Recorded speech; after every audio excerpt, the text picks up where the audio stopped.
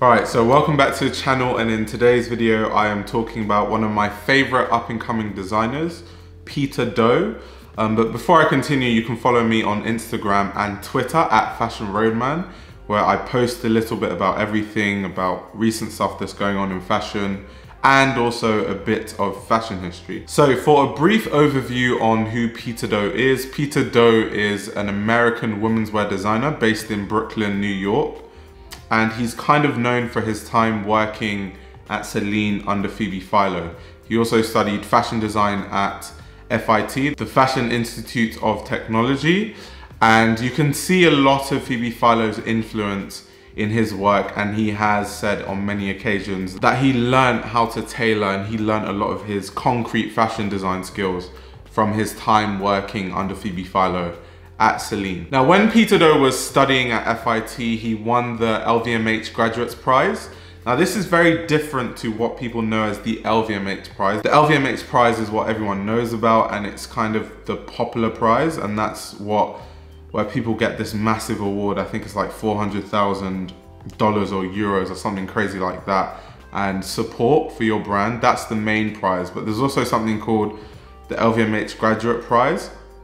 And the LVMH Graduates Prize, you win, I think 10,000 and you also get a chance to work for a brand under the LVMH umbrella. So of course Celine is under the LVMH umbrella and this is why Peter Do was able to work at Celine um, for two years before he finally quit. Now in terms of design aesthetic, Peter Do is very much obsessed with menswear and he likes tailoring silhouettes of menswear. In many interviews, he talks about this idea of taking cues from a menswear tailoring aesthetic and silhouette and injecting it into women's wear. So he's making really feminine garments, but he's adding the structure that you would associate with menswear. Another reason why he's obsessed with menswear is that he states that he feels like menswear is most of the time made to last because men buy clothing more often and when men buy clothing, they're normally buying something to wear for a long time.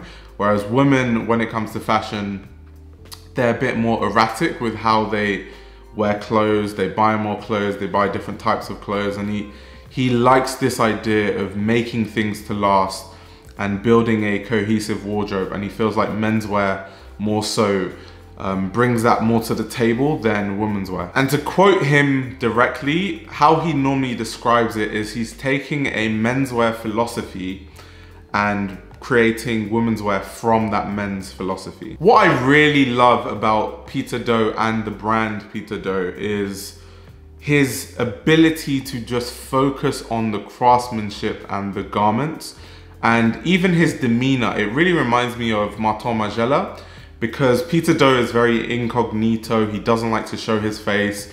You can't really see his face anywhere. The only way you can really recognize him, he has this crazy tattoo that's like a line from his left ear all the way to his hand. So that's an easy way to identify who it is. But other than that, you can't really find images of his face online. And it's mainly because he feels like the focus should be on the clothing. It shouldn't really be about him. And he's always been a private person. It's not like a fad or he's trying to create this kind of name for himself and be seen as like Margiela. I was reading an interview where he was talking about how he used to hide his family portraits at home because he didn't want people to come to the house and see his face, which I thought was quite interesting. To quote what he said, he said, I just don't like my face being memorialized and besides, the brand should be focused on the clothing, not the designer, and I totally agree. I totally agree, and I think a lot of brands, when they start to have their downfall, is when designers become a bit too big for their boots and the focus becomes less on the actual product that brought them to that stage and they start to focus on them. Um, I always feel like that's the downfall to many brands, not mentioning any names, of course. Now, from the launch of the brand, it was clear that the focus from 2018 when it was launched would be on functionality and wearability. And this is not necessarily a bad thing. I know in the sphere of high-end fashion, making things that are too wearable are seen as making things that are too commercial or safe. But Peter Do's designs are not safe. They're not overly commercial. They're just made to be wearable, but they're very, very complicated in terms of the way they're constructed, the high quality in which they're constructed, and the many different silhouettes that you get wearing Peter Do. Because Peter Do has such a stiff focus on functionality, a lot of his designs are very utilitarian. I mean, there are some garments that you wouldn't expect to have pockets, like a dress or a skirt that have pockets, because once again, he's more about function. And in his interviews, he talks about him making clothing for the everyday woman, the woman that does tasks, the woman that's a busy woman. She does many different physical activities in a day, and he wants the clothing to be very comfortable for the wearer, but at the same time make the wearer look chic and beautiful at the same time. And that's why he has all those different things in place in his designs. And this is where I say his clothing reminds me of Phoebe Philo. When you look at it deeply, they don't look the same. But in terms of the philosophy and kind of, there's a slight resemblance in terms of the functionality, the wearability, making beautiful clothes. Phoebe Philo never made ultra avant-garde clothes that were just artworks or sculptures. Phoebe Philo used to make clothing that was revolutionary. It changed the way we used to dress and I say we, it changed the way women used to dress and it changed the way women thought they could style certain things. At the same time, Phoebe Philo was making extremely high quality clothing and clothing that just fit perfectly on a woman and made a woman um, beautiful and obviously elevated the style of the everyday woman. Reading one of his interviews, I found something really interesting. What he said was that the jacket linings possess a signature pleating that expands when the wearer moves. And a lot of the knitwear is made to be extremely warm to avoid excessive layering in colder climates. And I think that's insane because here he said the signature pleating that expands when the wearer moves. And I think this is why he talks about making clothing for women that are actually physically active and doing many different tasks at work because a lot of luxury fashion is like luxury doesn't have to be comfortable you just have to look good and they're so restrictive and you can barely um, do any tasks when a lot of these brands and I do like that that he's taken the steps to make sure that it's very comfortable to wear, even down to the minute details like the linings of a jacket. Now, I have a few interesting quotes um, that Peter Do has made. So one of them is, I like to watch people. And when I see them struggling, it inspires me to fix it. They should just be able to grab whatever in the morning and know they look good.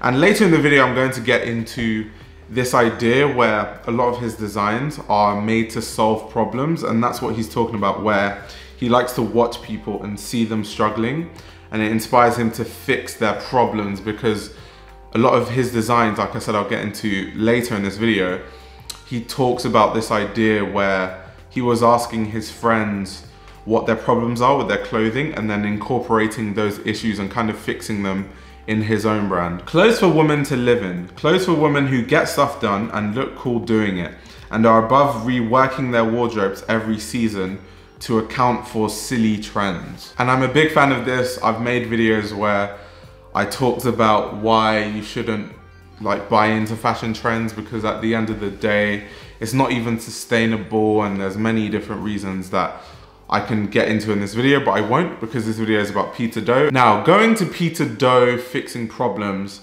to quote what he said, he said, I asked around to all my friends and colleagues what do you like? What do you wear? What do you see missing in your wardrobe? What do you hate? What do you hate about your sweater? Is it not warm enough? And he said that these type of questions that he was asking his friends and people he knows and their responses fueled his creative process to make sure that he fixed these little things in his production from the comfortability of it or maybe something not being too warm or being too cold and different things like that and I feel like he took it to the next level in terms of making clothing that was perfect for the wearer. And I don't think many brands unless we're talking about techwear brands where the focus of the brand is literally performance, actually consider things like this. But I think we can talk about the garment details and how beautiful the clothing is forever, but I think it would be a waste to talk about Peter Do without discussing garment innovation and how much he puts into his fabric research. So when Peter Do was actually still a student at FIT, he developed a new fabric that he calls Spacer, which I thought was really interesting to talk about.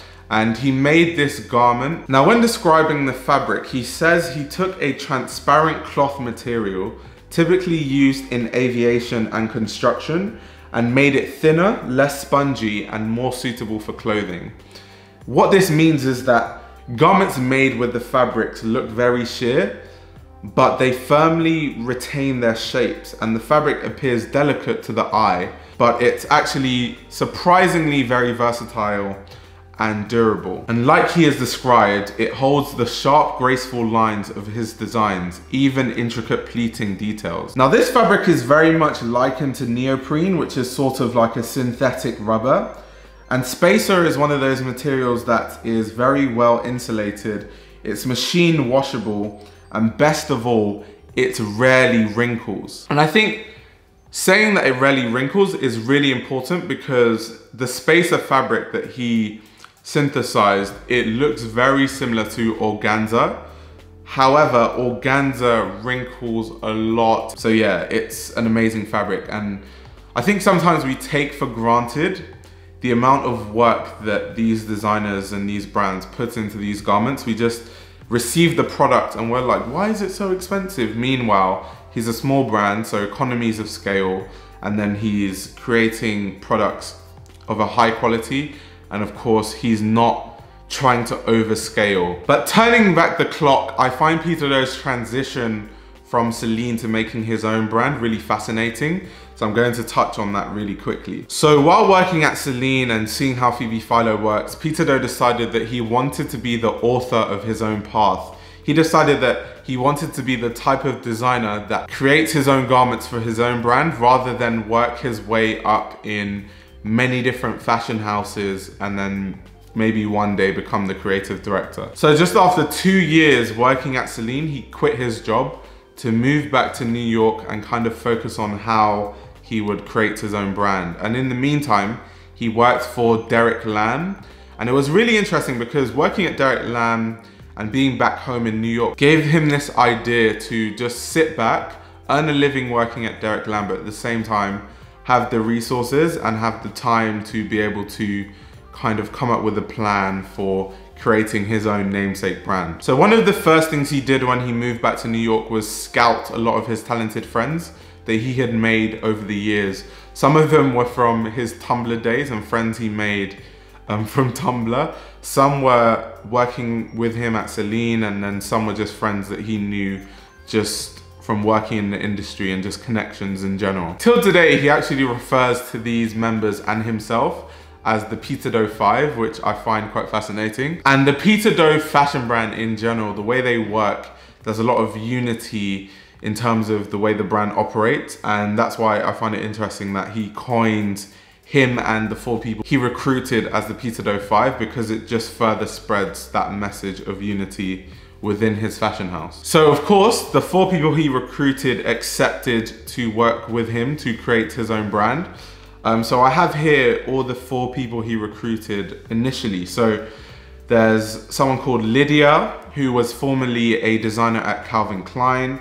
Vincent, who was working in sales at Celine, Anne, who's a photographer, and Jessica, who's a stylist and was actually a stylist for Peter Do's thesis collection when he was still at FIT. Now to talk about how the brand is marketed, everything is done through social media and Instagram. And the Instagram account is used as a way to direct traffic onto his web store as well as a way for stockists to just see what he's doing and see his garments. It's kind of like an electronic showroom, so to speak. Over the years, Peter Do has managed to build a great relationship with a lot of stockists and he's stocked in so many places now. Um, he's stocked in Dover Street Market, London. I see his clothes in DSM all the time.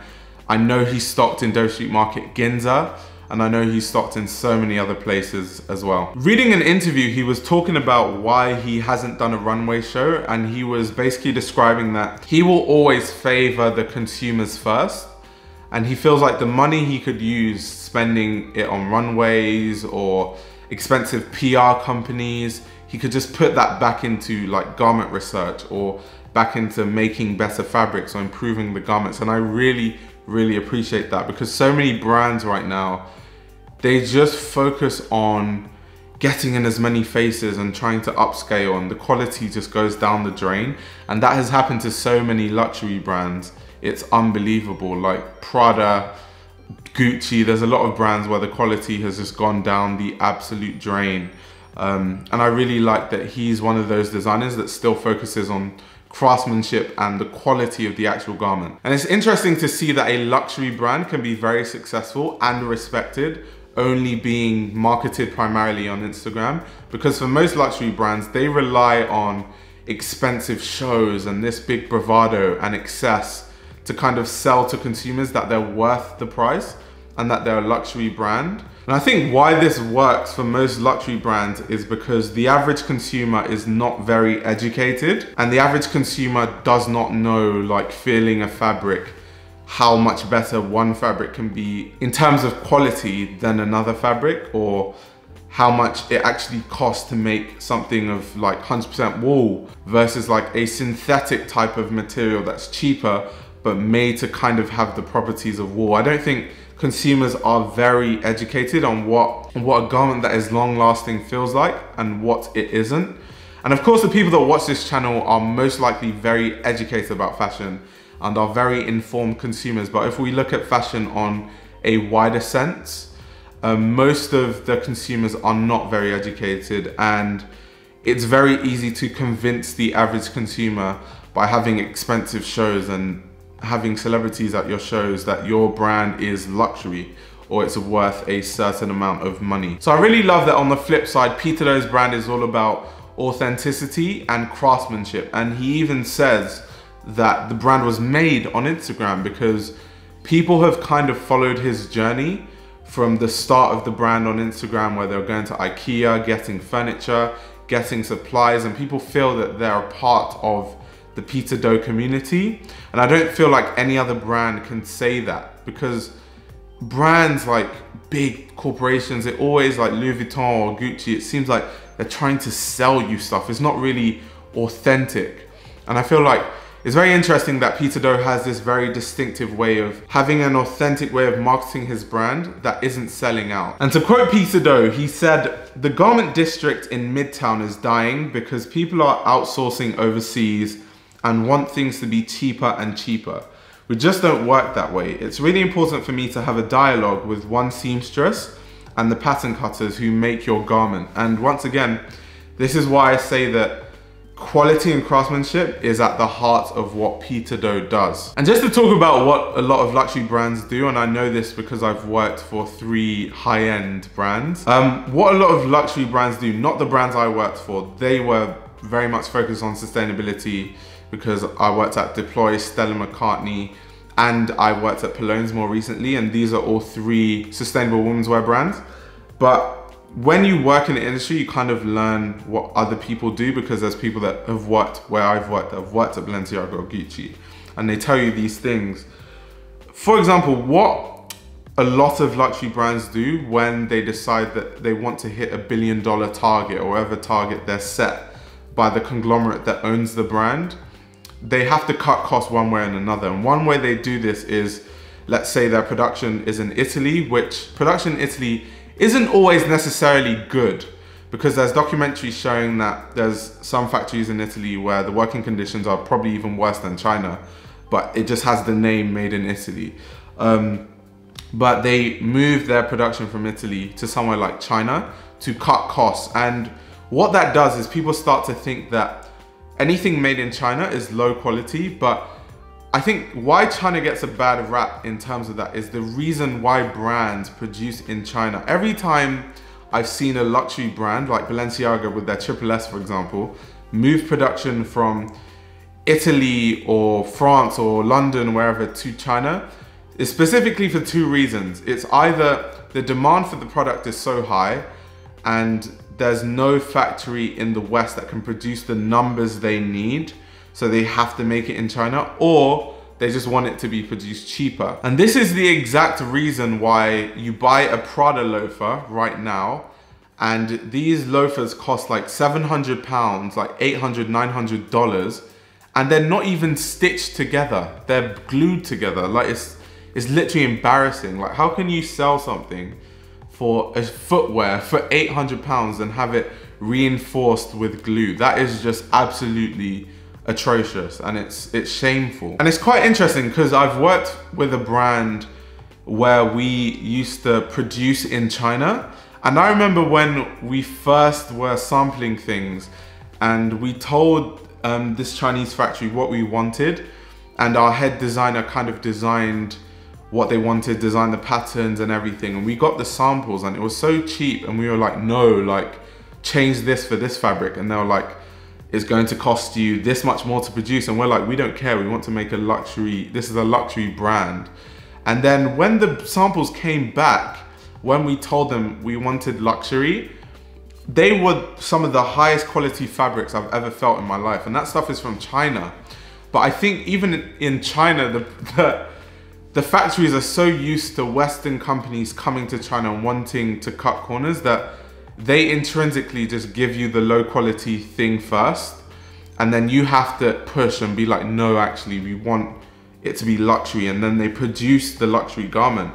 And in China, they have the means to produce every single level it's just that most times when people go to China, they want to cut costs. So most things that come out of China then are at that low level. But if you really want high level produced garments, it's there in China. And I say all of this to say this is why I'm a big fan of Peter Do because he recognizes this and he doesn't want to be a part of this whole system of trying to be a million dollar company and then trying to be a billion dollar company and then you cut costs and then garment quality suffers and many different things suffer. And he always focuses on the garment that the consumer is going to get at the end of it over everything else. And I'm a big fan of that. I also love that he does two collections a year. It reminds me very much of Dries Van Noten, not wanting to overproduce. And I really hope that he maintains this ethos of the brand because it's so good. And I really hope he doesn't sell out that's my big hope. And to even talk more about sustainability and Peter Do, I think the Spacer fabric embodies sustainability because it's a fabric that is made to last. And sustainability, there's many different ways a brand can be sustainable. One big way is by making products that last a very long time, therefore limiting how quickly it goes to landfills. And as we know, fashion is the second highest polluting industry behind the petroleum industry. And to quote what he said about this, he said, if we could all go back to making real clothes again and not make as much, pieces that are good and informed. And this just shows that he has the right mindset in terms of making clothing. The brand also reuses leftover fabric from past seasons that they don't fully finish. And that's also an amazing thing because there are many different luxury brands, not mentioning names once again, um, that once they're done with a fabric or a different collection, they just destroy everything because they don't want because they don't want the brand to be watered down when in actual fact they could have just produced less. Um, so yeah, that's a whole nother thing. But to be very constructive about Peter Do and the brand, because I don't want this video to come off like I'm just a Peter Do fan and he can do no wrong. Um, I want to be a fashion journalist and I'm an aspiring fashion journalist, so I have to have a critical eye on things and kind of be able to constructively critique brands um, and what I like about them, what I dislike. So to be constructive about what I necessarily, it's not like I don't like it about Peter Do, but what can be improved. I feel like Peter Do leans into the fact that he worked for Phoebe Philo at Celine a bit too much. I think he leans into it too much. And I'm not saying it's maybe him that does it, maybe it's the way he's covered because there's all these articles where they're like, if you are reminiscing about old Celine and Phoebe Philo's time at Celine, then check out Peter Do or check out what Daniel Lee, who also worked under Phoebe Philo, is doing with, with Bottega Veneta. And I feel they use working under Phoebe Philo at Celine as kind of a marketing tool. And I would much rather see, especially Daniel Lee and Peter Do, I'm gonna say, lean into themselves and kind of take credit for their own work because I feel like Daniel Lee and Peter Do are two designers that are incredibly good at what they do and I feel like they should try more to pivot away from using Phoebe Philo as like a marketing tool as like we know our stuff because we worked under Phoebe Philo and more just hone into themselves and find an aesthetic of clothing that's very, very more distinctive to them. Um, so that's, if I was going to be very constructive, that's the one thing I will say. Because what I've noticed in fashion is once someone studies fashion design at Central St. Martin's or they work under Martin Margiela or they work under Phoebe Philo at Celine, it makes them immune to criticism. And then when a designer is immune to criticism, they're going to start to get a bit full of themselves, which I've seen happen. And I hope it doesn't happen to Peter Do and Daniel Lee. Um, and they start to almost not design as good as they once did, but because there's yes men around them and no one to actually be constructive about their work, they kind of just, for lack of a better term, get lost in their own source. And McQueen actually made a really good quote about this. It's on my phone. Let me go get my phone so I can read out this quote. Okay, so McQueen Vault, which is an amazing page on McQueen on Instagram, and this guy knows everything about Alexander McQueen there is to know. He's read every single book. He posted a McQueen quote um, on his page that I thought was absolutely amazing in terms of bringing my point across. Now, to quote what McQueen said, he said, I know because of my tailoring background, Savile Row and that, I get away with a lot. And let's face it, there's a lot of getting away with it going on in fashion. And I could not agree more. I literally could not agree more because McQueen is literally owning up to the fact that because he interned at Savile Row and Savile Row is known as the mecca for tailoring in Europe, that he knows that whenever he makes a suit, it doesn't matter how the suit is made, he gets away with it because people are just gonna say he worked at Savile Row, so the suit's amazing. Not even looking at the details of the suit, they just make that assumption from the get-go because of his background. And he said, and let's face it, there's a lot of getting away with it in fashion. And I, I couldn't agree more. So much of that does go on in fashion. And that's why when I'm being constructive about designers, in terms of critiquing their work, um, I have to look past where they've designed or where they've worked. And to further bring my point across, there's an academic paper on Prada. It's called Prada and the Art of Patronage. And someone from this channel, um, one of the people that follows this channel actually um, recommended that I read it and it was amazing. It's one of the best academic papers I've ever read. And this academic paper talks about how Prada, whether they mean to or not, Miuccia Prada is someone that's into art and artistic fashion. However, there's a way that she's tactically marketed Prada as like this brand that's associated with high level art and architecture in the way that she's collaborated with architects that Prada is then put on that pedestal. And this academic paper was critiquing to what extent this is genuine and is, is it really Miuccia Prada being a fan of these architects and artwork as a whole or is it really Miuccia Prada using high level art and using very well respected architects and collaborating with them knowing fully well that if she collaborates with these people that are seen at such a high level of art, that Prada will then be put on that same high level of art and will be associated with it. Um, but yeah, that's all I really have to say. Um, in conclusion, I'm a really big fan of Peter Do. I love everything he does. I love the garments. I love his mindset. Um, and I really look forward to um, his work in the future. What I will say is I hope he makes menswear because his women's wear is fantastic. Of course, he's a women's wear designer, but I am six foot three. And unfortunately, I can't wear any brand that only makes women's wear because it's too small. Um, so Peter Do, if you're watching this, if you make menswear, please make it in big sizes and I will buy your whole range every single time. I will save up money and I will buy a lot of your clothing, especially the tailoring. But on that note, um, I hope you guys enjoyed this video. Like this video if you liked it. Subscribe to the channel if you are new. Um, if you want to support this channel financially, I will greatly appreciate it if you subscribe to my Patreon. The link to that is in the description below. And apart from supporting this channel, you also get access to exclusive content on Patreon. If that gives you any incentive to subscribe to my Patreon. Um, in other news, I'm working on my magazine, as a lot of people know, and pre-orders for my magazine and merch, which will just be tote bags, um, will start late next month, hopefully. um, if I work on my timelines correctly. But on that note, thank you very much for watching this video. I greatly appreciate everyone that takes time out of their day to watch these videos and I'll be back again with another video really soon.